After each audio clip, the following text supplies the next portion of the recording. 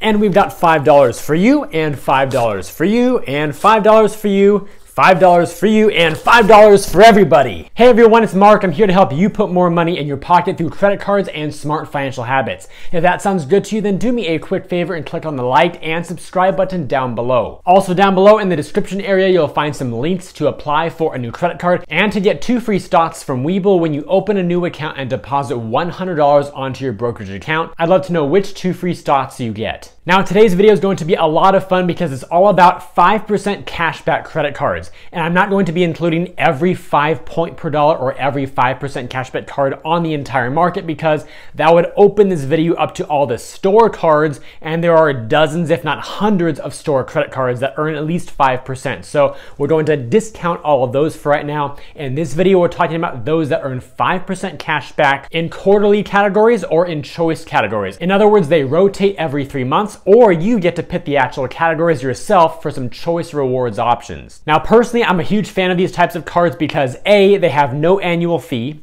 B, because 5% return is very, very good, and C, because the rewards categories rotate every so often or you select them yourself, it allows you to earn a high return in a broad set of different rewards categories rather than being locked into a predefined set. So without any further ado, let's dive into the video and go over my personal top five picks for the best 5% rotating slash select rewards category credit cards. And that was a huge mouthful, so hopefully that made some sense. All right, card number one is the Chase Freedom Flex card. The welcome bonus as of March 2021 is $200 of cash back after spending $500 in the first three months of card membership. You'll also receive a 0% APR period for the first 15 months on new purchases, then a variable APR after that. Now the cashback categories on this card are phenomenal. It begins with a 5% quarterly category on up to $15,000 of combined spend each quarter, and you must activate each quarter, otherwise you'll only earn 1%. So be sure to activate. You'll then earn 5% back on travel when you book it through the Ultimate Rewards portal, which is basically the Chase travel portal inside of your online Chase account. Then that's followed by 3% back on dining, 3% at drugstores, and 1% on all other purchases. There is no annual fee on this card. Now, every single year, the quarterly categories may be different, so here are some examples from 2018.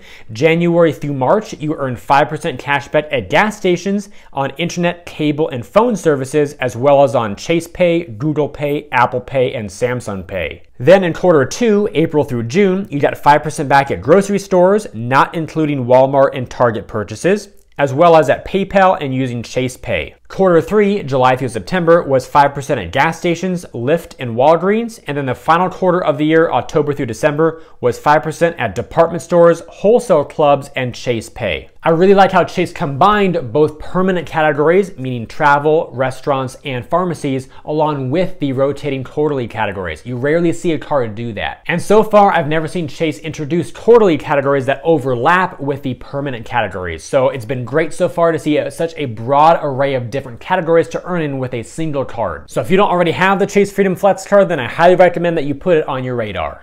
Card number two is the Discover It Cashback Credit Card. The welcome offer as of March 2021 is what's called a cashback match. And here's what Discover says about that. You'll get an unlimited dollar for dollar match of all the cashback you've earned at the end of your first year automatically. So if you earn 250 bucks of cashback on your own in the first year with a Discover cashback card, then you'll actually end up with 500 because of that cashback match. There's also a 0% APR period for the first 14 months on purchases and balance transfers, then a variable APR after that. For cashback, you'll get the same 5% rotating quarterly categories on up to $1,500 of spend per quarter when you activate. If you spend more than $1,500 in those categories in that quarter, then you'll earn 1% going forward until it refreshes the following quarter. Then 1% of course on all other purchases. There's also no annual fee on this card. Now here are some example cashback categories from 2020. January through March was grocery stores, Walgreens, and CVS.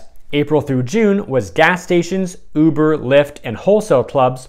July through September was restaurants and PayPal, and October through December was Amazon.com, Walmart.com, and Target.com. Another card that should definitely be on your short list if you don't have it already. Next up is the card that puts you in control. It's the US Bank Cash Plus Visa Signature Card. The welcome bonus as of March 2021 is $150 of cash back after spending $500 in the first 90 days of card membership. You'll also have a 0% APR period for the first 12 months on balance transfers, then a variable APR after that. The cashback on this card functions a little bit differently. First, you'll have 5% choice categories, meaning you can choose two of your own choice categories from a defined list of options, and you'll be able to earn that 5% on up to $2,000 in combined spend each quarter. And like the other cards that we just saw, enrollment each quarter is required. This is followed by 2% back on an everyday category. Again, you can choose one of these everyday categories from a predefined list. Usually there's three different ones to choose from, and there's no limit or cap on this category each quarter. Finally, you'll get 1% back on all other purchases. And once again, there's no annual fee on this card. Now here's a screenshot of the available categories from January through March of 2021. In the darker navy blue color, you have your 5% choice categories, and in the lighter blue, you have your 2% everyday categories. The 5% choice categories that US Bank offers are usually pretty unique. Some of the ones that really stand out to me are home utilities, select clothing stores, electronic stores, cell phone providers, gyms and fitness centers, sporting goods stores, and furniture stores. Most cards from other banks don't have these types of rewards categories to choose from or even as permanent categories. So if you decide to get this card, it's great to know that you've got some really cool choices to pick from. And then the 2% everyday categories are currently gas stations, restaurants, or grocery stores. Again, you'll choose one of those for the quarter. The next card is the ABOC Platinum Rewards MasterCard. And if you haven't heard of ABOC before, that is the Amalgamated Bank of Chicago. I had to look that up myself too. The welcome bonus on this card as of March 2021 is a $150 statement credit after you spend $1,200 in the first 90 days of card membership. There's also a 0% APR period for the first 12 months on new purchases, then a variable APR after that. This card will give you 5 points per dollar on quarterly categories that change each quarter on up to $1,500 in combined spend and 1 point per dollar on all other purchases. Now, even though this card earns points, each point is worth 1 cent each, meaning 5 points per dollar equals 5% cashback and 1 point per dollar equals 1% cashback. This card also has no annual fee, so there's nothing cutting into your rewards. Now here are some example categories from this card. The first quarter, January through March, was health and wellness, and that includes purchases at grocery stores, fitness clubs, hospitals, and pharmacies. Then in quarter two, we have spring spruce up, and that includes purchases at home improvement stores, gardening stores, and selected online retailers. Quarter three is all about travel, giving you 5 points per dollar or 5% cashback on qualifying airline, cruise, car rental, hotel, travel agency, gas stations, toll roads, and rideshare purchases. This card is amazing. And lastly, in quarter four, we have the Enjoy the Holidays category, which covers qualifying dining and grocery store purchases, food delivery services, liquor stores, and Amazon.com. Are you all ready for the final card of this video, card number five? Let's get to it. We've got the Nusenda Credit Union Platinum Cash Rewards card. The welcome bonus on this card as of March 2021 is 2% cashback on all purchases for the first 90 days, plus a 5% APR for the first six billing cycles on balance transfers only. In similar fashion to the other cards we've seen, there are 5% quarterly categories that change every three months on up to $1,500 in combined spend, plus 1 back on all other purchases. There's also no annual fee on this card. And here are the example categories taken from 2021. The first quarter of the year was groceries and gas expenses. Quarter two will be movies, restaurants, and home improvements. Quarter three covers gas expenses and education expenses. And quarter four will cover restaurants, hotels, and airfare. All right, now that we've covered all those cards individually, I also made a table for you with all five cards side by side. So I'll put up here on the screen for you to see. Across the top, we have each individual card that we covered in this video, plus their annual fees down below, which is a beautiful $0 for every single one. That's followed by the sign-up bonus as of March 2021.